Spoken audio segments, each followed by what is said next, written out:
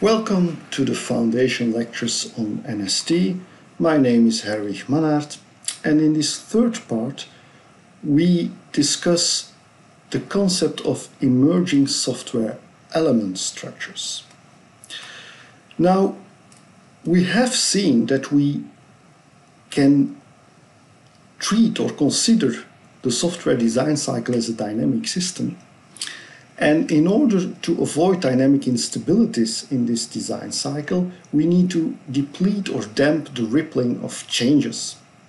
Because these changes could ripple through the software structure, cause what we call combinatorial effects proportional to the size of the system and therefore lead to dynamic instabilities and unbounded changes.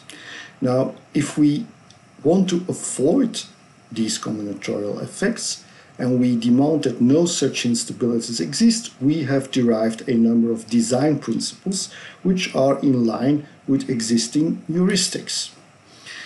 And we have proven that adhering to these design principles is a necessary condition to avoid combinatorial effects or dynamic instabilities, not necessarily a sufficient condition.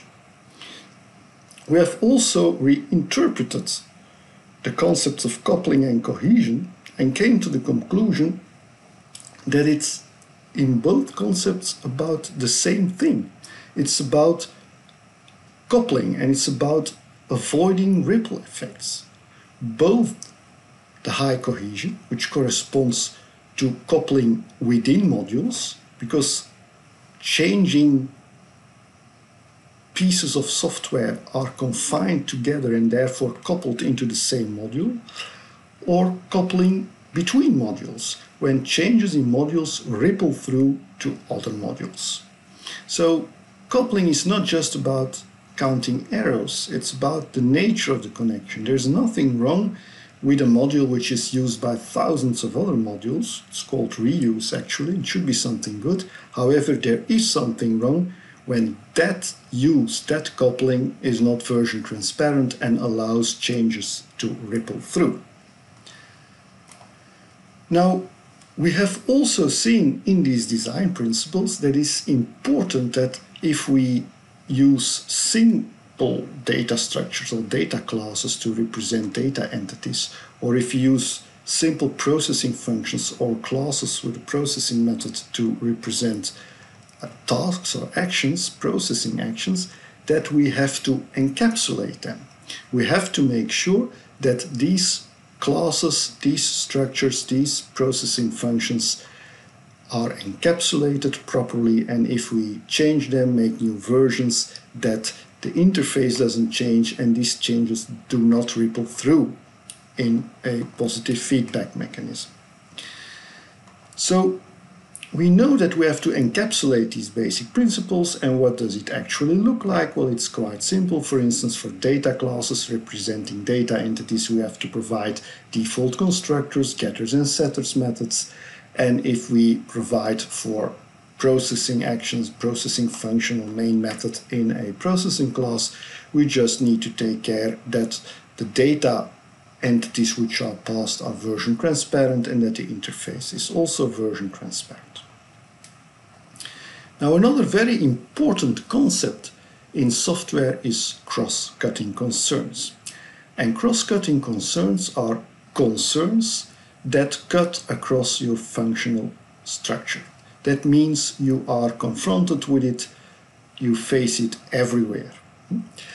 That means if you have various functional entities like invoices, orders, payments, sensors, customers, and stuff, they all face these same cross-cutting concerns because they cut right across your functional structure. For instance, persistency, access control, remote access, etc.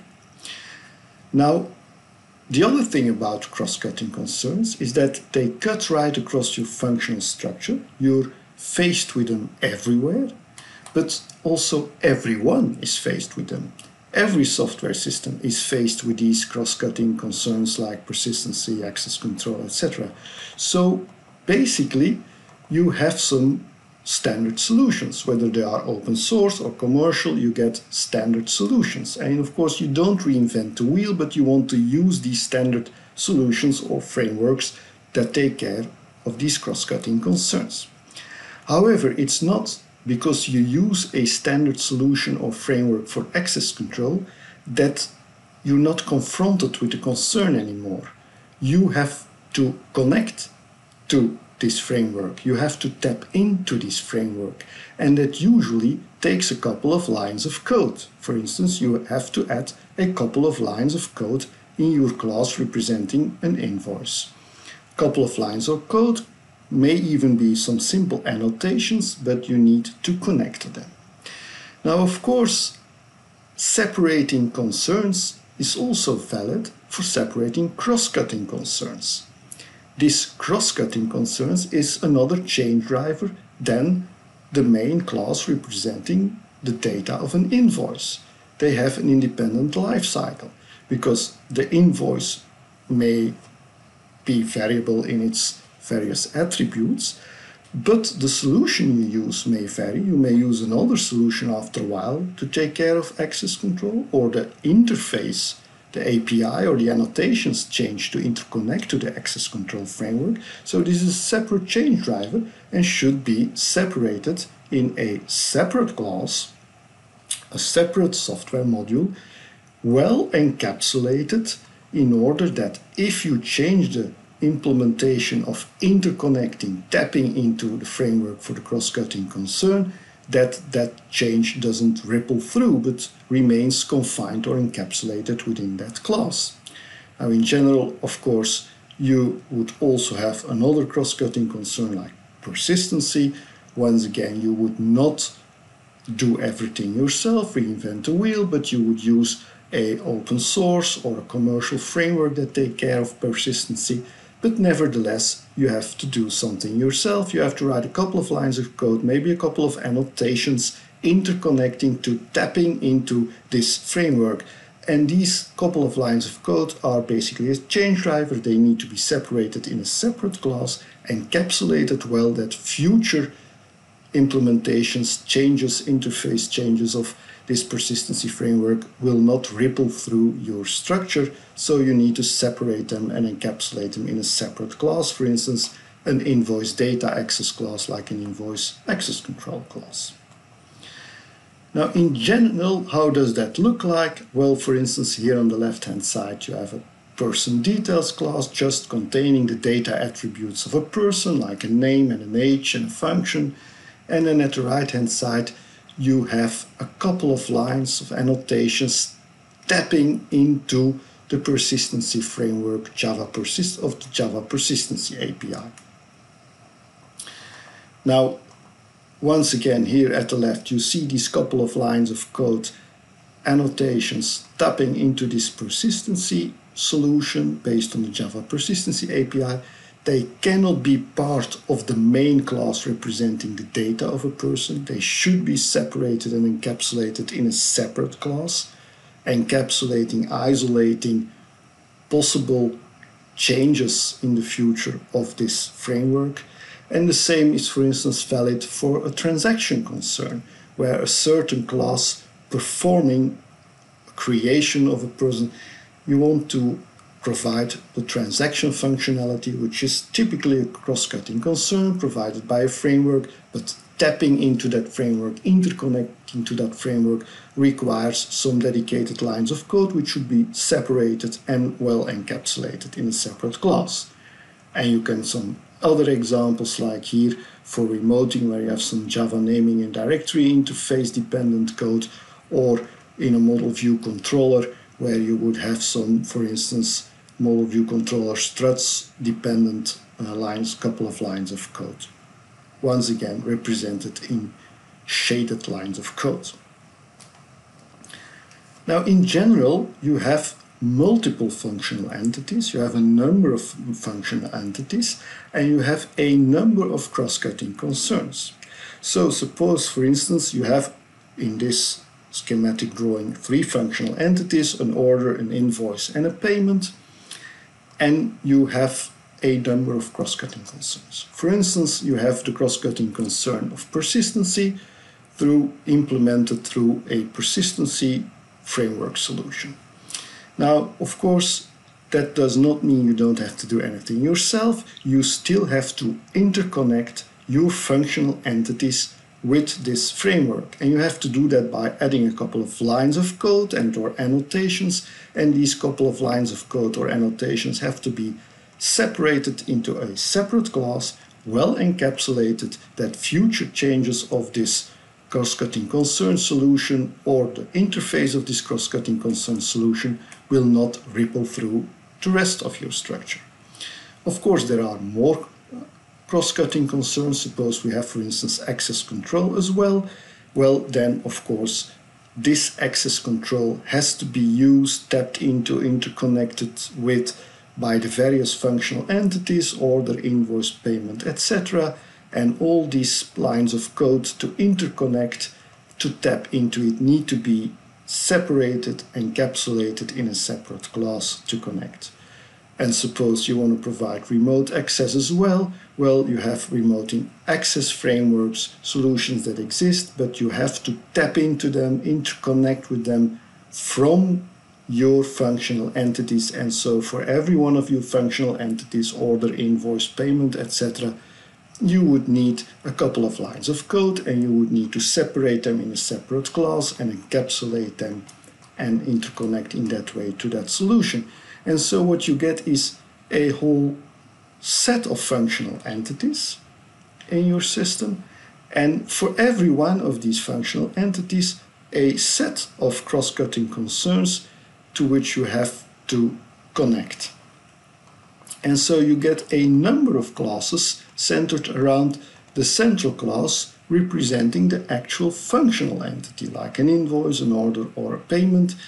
And of course, you would also need then a standard interface class for every one of these functional entities that you can interact with between these functional entities without becoming technology dependent. So you need a technology agnostic interface. And this is what we call the emergence of elements, because for every functional entity, you don't only need a single software module, being the main class, um, implementing that functional entity, but you need a set of classes centered around this central class. Now, this implies that we have a more advanced transformation. Instead of transforming to implementing a functional entity, for instance, a data entity for an invoice, just in a single class representing the data and being well version transparent encapsulated, we need to implement it using several classes, a whole set of classes around this central main class and providing an interface as well. And this set of classes we call an element. For a data entity, we talk of a data element, in this case, for instance, an invoice element. So instead of just transforming the entity in a single class, we transform it in a set of classes. Hmm? The data entity is transformed not in a single data class or data structure, but in a collection of classes of structures in software modules. And the same is, of course, valid for a processing action. We don't have to just implement it, transform it into a single class with a processing method, well encapsulated, version transparent. No, we have to provide a number of classes around this central class taking care of the interconnection with the tapping into the various solutions of the cross-cutting concerns, providing a technology agnostic interface. And this set of classes we call a element, in this case a task element or more specifically a sent invoice element. Now we remember that the basic transformation where we just transformed every functional entity in a single software module or class, data class, processing class, that one of the great problems was if we would apply changes on the left, we would not only have the transformation of that change into software, but we would also have positive feedback due to ripples of changes, where we would have to adapt those functions that actually create or instantiate the data entity because the interface of the creation or instantiation of the data entity would have changed and would have impacted other software modules.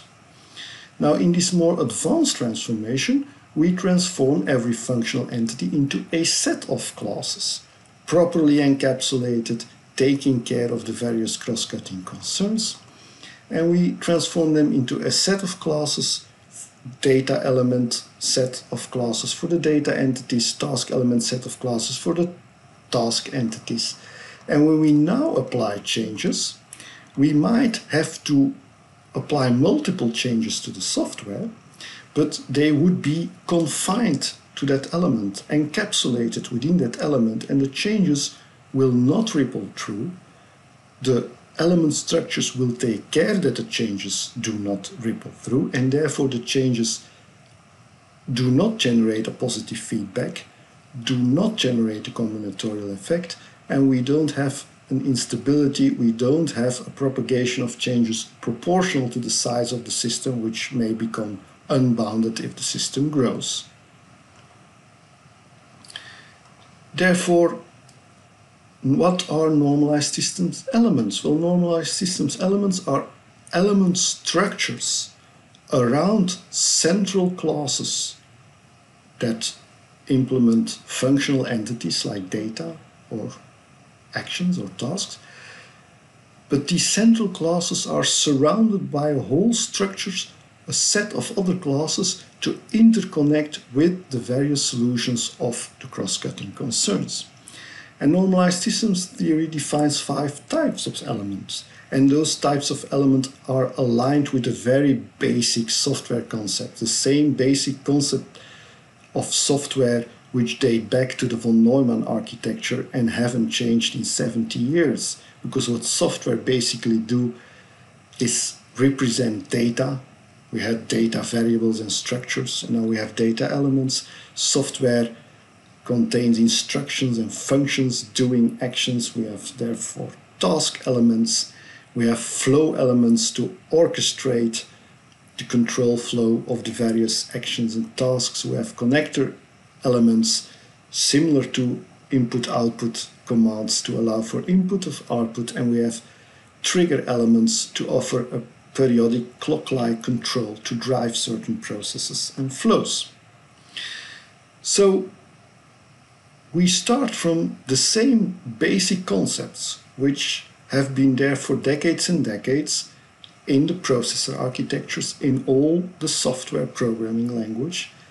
But what we do is every one of these basic concepts, we surround the basic implementation with a number of peripheral implementation classes interconnecting to the various cross-cutting concerns and providing encapsulation to avoid ripples going through due to changes.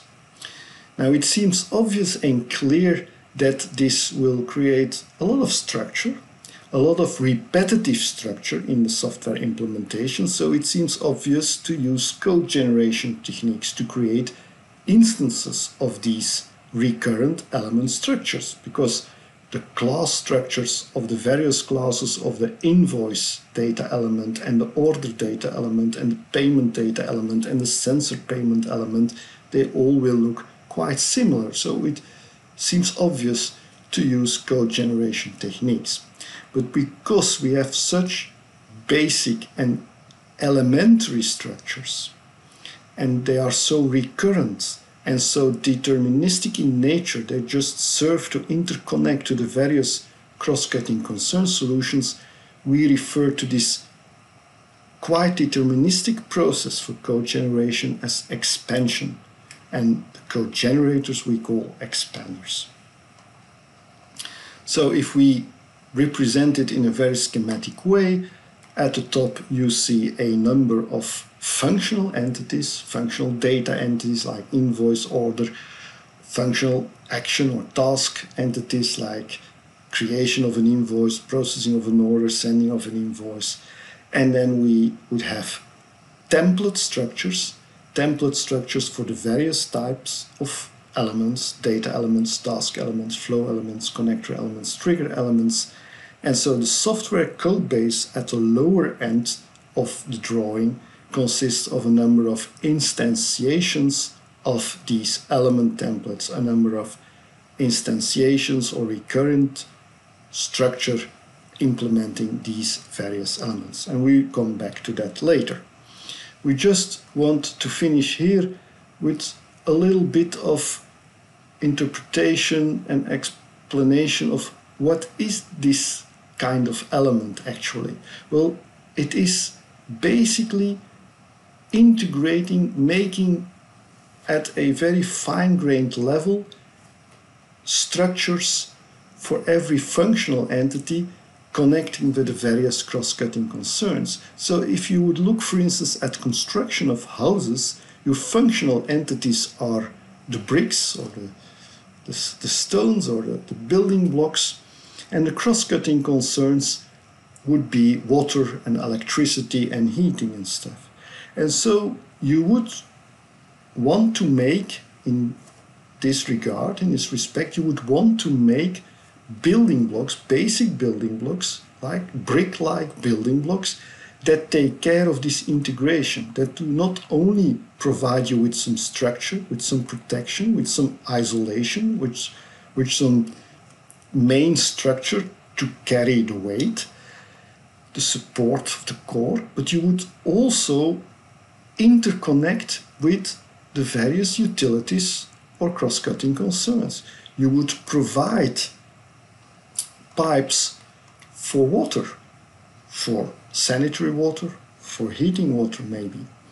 You would provide pipes for electricity, for instance, even provide sockets. And of course, you would make this interconnection with the cross-cutting concern frameworks in a version transparent or encapsulated way. The pipe for the electricity would be able to carry copper and later optical fiber, etc. It would not be tied to a specific implementation for your electricity. The pipes for the heating system would be able to carry any fluid that you would use for various heating systems. Other types of fluids, other kind of central heating systems, but it would just carry a fluid. So you would incorporate into the structure the interconnection with the various utilities or cross-cutting concerns, and you would do it in a version transparent or encapsulated way. Now, of course, we've been saying that for many years, but now you start seeing more and more integration of interconnection with cross-cutting concerns at a fine-grained modular level. If you see, for instance, the solar tiles of Tesla, you see that those tiles actually are just ordinary tiles which you can use to make a roof, but they provide solar electricity, photovoltaic functionality. You would see that people are start to propose plastic roads, and they say this could be a revolution because every time you have a problem with communication connections, you have a problem with electricity connection, you have a problem with uh, draining water with sewers, etc., you have to drill open into the roads. Now, if you ha would have prefabricated pieces of road integrating the connection with the various cross-cutting concerns like electricity, uh, like communication, like water, like gas, it would be far easier to do maintenance works on roads. It would be far easier to upgrade your central utilities you see in the New Dragon spacecraft of SpaceX that the solar panels are all over the place, that you don't have external solar panels, but that you have embedded photovoltaic functionality. And you also see examples, for instance, in containerized data centers, where you have a container where you can store servers, IT servers, but at the same time you have all the cross-cutting concerns being taken care of within the container through diesel generators, through batteries, uh, through air conditioning systems, etc. So, of course, you can always contact me if you have any further remarks or questions, and I thank you.